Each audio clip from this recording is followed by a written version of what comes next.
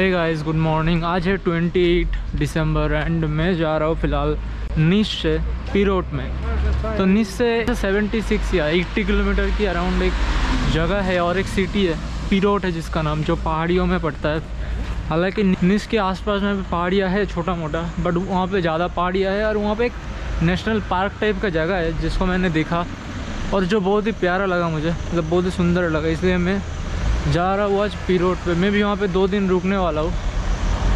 बाकी फ़िलहाल हॉस्टल से चेकआउट कर लिया।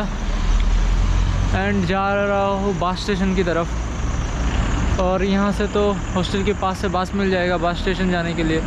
इसके लिए मैं पे करना पड़ेगा सिक्सटी दिनार बस स्टॉप पे आ चुका हूँ। यहाँ से बस लूँगा बस नंबर नाइन एंड फिर उसको लेके मैं जाऊँगा निश की बस स्टेशन पे। जहाँ से आई थिंक एक घंटे बाद बाद हमें बस मिल जाएगा पीरोट जाने के लिए।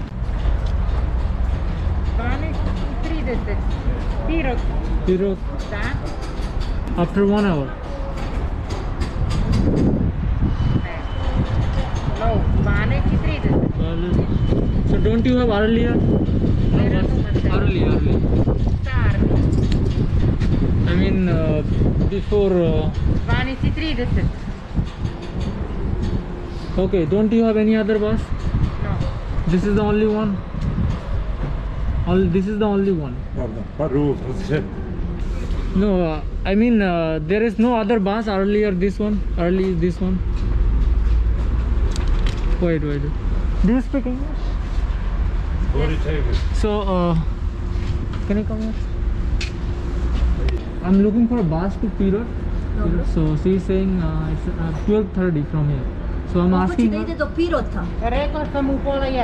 So I'm asking her, is there have any other bus like?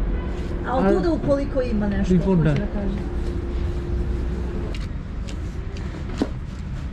Not this. Early, early. Arli, Arli, Pirot, Niš. Okay? Do, Olmor Çin, यार दिक्कत हो गई इनको बोल रहा हूँ ये बोल रहे साढ़े बारह बजे यहाँ से बस है तो मैं पूछ रहा हूँ कि इसके आगे है कि नहीं कुछ? तो भाई साहब, अभी साढ़े ग्यारह बज रहा है और नेक्स्ट बस यहाँ से पीरियड के लिए है साढ़े बारह बजे। मतलब हम एक घंटा भी वेट करना पड़ेगा। फ़िलहाल वेट कर रहे हैं हम अपना बस के लिए। बस तो आएगा अभी ट्वेल्व थर्टी में बस छोड़ेगा यहाँ से। आई थिंक आ चुका है, यही वाला बस है। प्लेटफॉर्म नंबर 11 पे इसको आने का बात था तो फ़िलहाल अभी वेट कर रहे हैं। साढ़े बारह बजे से पहले तो हम नहीं उठ पाएँगे अभी यहाँ से। तो देखते हैं कब तक बस आता है। और ज़्यादा टाइम तो नहीं लगेगा। एक घंटा पंद्रह मिनट में हम इजीली पहुँच जाएँगे। कल हो रहा था बारिश।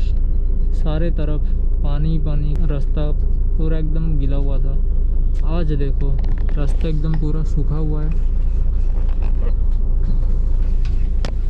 बादल तो कुछ है ही नहीं, एकदम क्लियर स्काई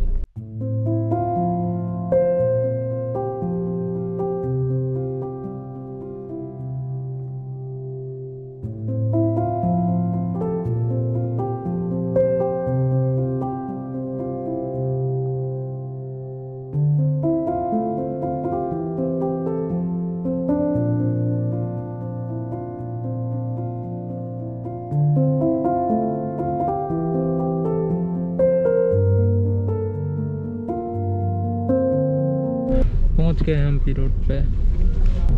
पहाड़ियों के बीच में एक सुंदर सा शहर।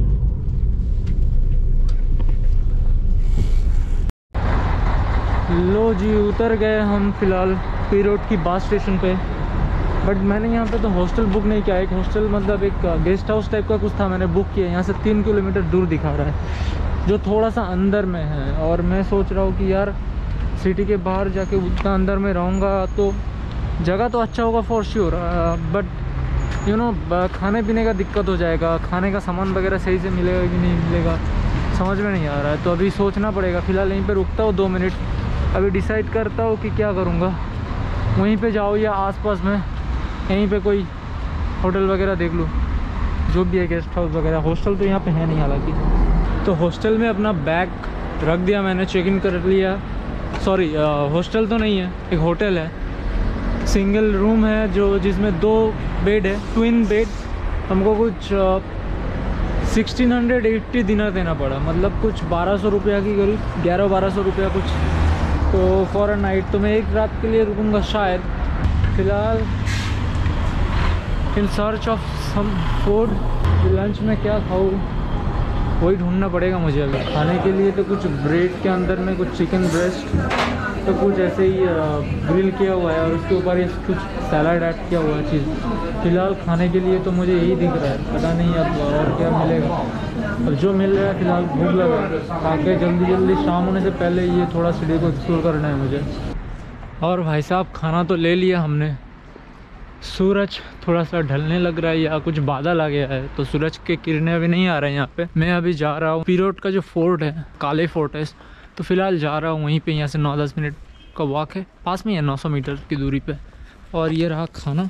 सोच रहा हूँ कि यहीं पे खाते खाते जाओ या फिर पीरोड फोर्ट में जाके वहाँ पे बैठ के इजीली खाओ तो एक काम करता हूँ, वहाँ पे ही बैठ के इजीली खा लूँगा। बेकार रास्ते में चलते चलते ना खाते हुए जाऊँगा।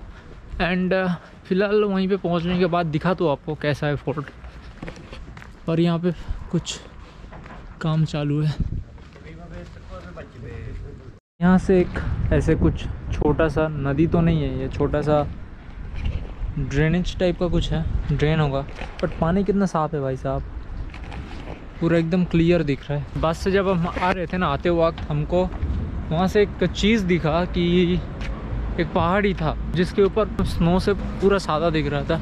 और वो पास में ही दिख रहा था मुझे बट किस तरह पे मुझे अभी समझ में नहीं आ रहा है। शायद इसी साइड पे कहीं पे होगा। एंड uh, मेरे को भाई वहाँ पे जाने का मन तो कर रहा है यार पर कैसे जाऊँ मुझे समझ में नहीं आ रहा है। यहाँ का व्यू कुछ ऐसा है। तो इस तरफ़ से नदी बह के आ रहा है। आई थिंक लोग वहाँ पे ना फिशिंग कर रहा है। जाके देख के आए। सोच रहे हैं क्या जाए या नहीं जाए। पर नहीं पहले हम फोर्ट में चलेंगे। फिर शायद वहीं पे जाए। आ चुके हैं हम फोर्टिस में। फोर्टिस में तो नहीं पास में आ गए उस साइड में आपको दिख रहा होगा। घुसता हूँ और उससे पहले खा लेता हूँ। यहाँ पे कुछ चेयर वगैरह हमें दिख रहा है जहाँ पे बैठ के हम खा सकते हैं इजीली